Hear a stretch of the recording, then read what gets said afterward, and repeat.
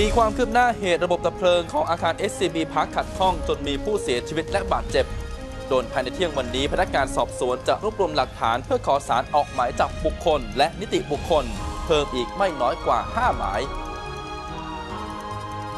ติดตามได้ในข่าวเที่ยง 12 นาฬิกา